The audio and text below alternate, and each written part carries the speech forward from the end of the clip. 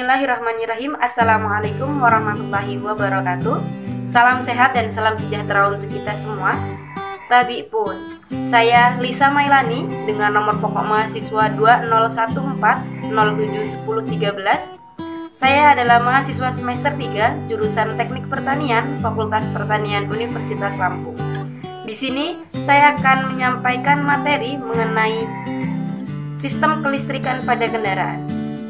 Ini adalah salah satu topik pembahasan pada mata kuliah motor bakar dan traktor pertanian yang ada di semester 3 jurusan Teknik Pertanian dengan dosen mata kuliah yaitu Bapak Dr. Mareri Telaum Banua STP MSc. Selamat menyaksikan dan semoga bermanfaat. Dalam sebuah kendaraan, sangat penting adanya sebuah sistem yang mengatur dan mempermudah jalannya suatu kendaraan dan salah satunya adalah sistem kelistrikan sendiri di mana sistem kelistrikan sendiri adalah sebuah rangkaian energi listrik yang disusun untuk menjalankan sebuah fungsi-fungsi tertentu pada sebuah kendaraan. Nah, sistem kelistrikan pada kendaraan juga memiliki cara kerja yang sangat mudah untuk digunakan atau untuk dioperasikan oleh pemula maupun mereka-mereka yang memang belum pernah sama sekali mengikuti atau belajar mengenai sistem kelistrikan ini. Sistem kelistrikan dapat dioperasikan dengan cara mengoperasikan saklar utama sistem penerangan. Karena pada saat saklar utama sebelah kanan kita putar satu kali, seperti terlihat pada gambar, maka lampu kota akan hidup dan bila diputar dua kali, maka lampu kota akan hidup juga. Pada saat lampu kota masih hidup, maka lampu-lampu yang lain juga harus hidup antara lain lampu meter kombinasi, lampu pada plat nomor, lampu kota belakang. Nah, setelah itu, jika saklar sebelah kanan kita geser ke belakang, maka lampu tanda belok sebelah kanan harus menyala, seperti terlihat pada gambar, dan bila digeser ke depan, maka lampu tanda belok sebelah kiri menyala. Apabila digeser ke atas, maka lampu jarak jauh akan menyala sesuai dengan saklar yang kita geser tadi. Apabila kita geser ke bawah, walaupun kita lepas, maka lampu kepala yang menyala adalah lampu jarak jauh.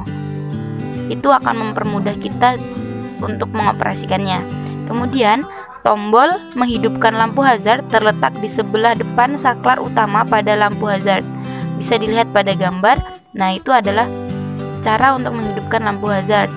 Kemudian, posisi kombinasi transmisi manual pada kecepatan mundur dan posisi kontak on, maka lampu mundur akan menyala. Ini fungsi wiper dan Weather pada saklar sebelah kiri.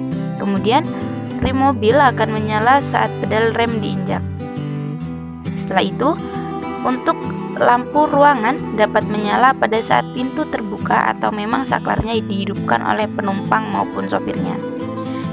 Itulah tadi penjelasan mengenai cara kerja dari sistem kelistrikan pada sebuah kendaraan.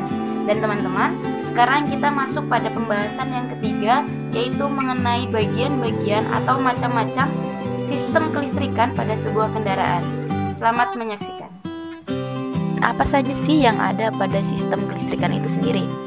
Nah, sistem kelistrikan terbagi menjadi beberapa macam, di antaranya sistem starter, sistem pengapian, sistem pengisian, dan sistem peringatan atau indikator.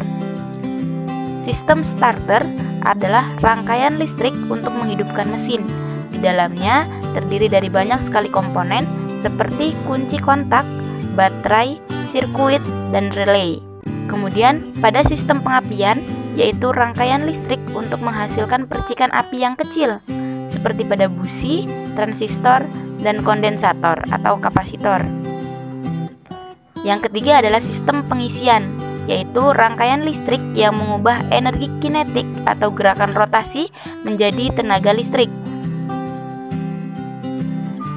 Nah, itulah tadi penjelasan mengenai bagian-bagian atau macam-macam sistem yang ada pada sistem kelistrikan di sebuah kendaraan. Dan sekarang kita masuk pada poin yang keempat, yaitu mengenai komponen utama sistem kelistrikan pada kendaraan. Selamat menyaksikan. Terdapat empat komponen utama yang ada pada sistem kelistrikan itu sendiri. Yang pertama yaitu sistem komponen suplai arus. Ini adalah sistem komponen atau sumber arus listrik bagi semua komponen yang membutuhkan aliran listrik, seperti AC, lampu, dan audio. Kemudian ada sistem komponen output Sistem komponen output ini adalah perangkat atau media hasil dari aktifnya sistem kelistrikan. Jenis perangkatnya sendiri ada banyak dan beragam, menyesuaikan dengan fungsinya masing-masing. Contoh, LED, lampu bohklam, motor wiper, weather pump, motor window, audio, head unit, power stringer, klakson, AC, dan lain-lain. Kemudian yang ketiga adalah komponen input Komponen input sendiri adalah komponen kelistrikan mobil yang bekerja secara aktif. Ini ditentukan oleh komponen input, baik yang diaktifkan secara manual maupun yang diaktifkan secara otomatis oleh sistem. Kemudian, yang keempat adalah komponen wiring harness. Nah, komponen ini pada sistem kelistrikan yaitu mengalirkan listrik dari sumbernya, baterai, menuju perangkat atau bagian yang membutuhkan. Nah, itulah tadi penjelasannya mengenai komponen utama pada sistem kelistrikan. Sekarang kita masuk pada poin yang kelima, yaitu mengenai contoh kasus yang ada pada sistem kelistrikan. Berikut penjelasannya. Selanjutnya yaitu contoh kasus sistem kelistrikan yang terjadi pada kendaraan perlu diperhatikan juga bagi kendara untuk tidak mengotak-ngatik sistem kelistrikan jika tidak memiliki pengetahuan sama sekali. Potensi kegagalannya akan lebih besar dibanding kesuksesannya jika hal tersebut dilakukan. Jika suatu ketika harus melakukan pergantian komponen yang membutuhkan listrik atau melakukan modifikasi, maka akan lebih baik sistem ini diserahkan kepada ahlinya. Oke teman-teman, sekarang kita masuk pada poin yang terakhir, poin keenam mengenai kerusakan dan cara penanganannya. Berikut penjelasannya.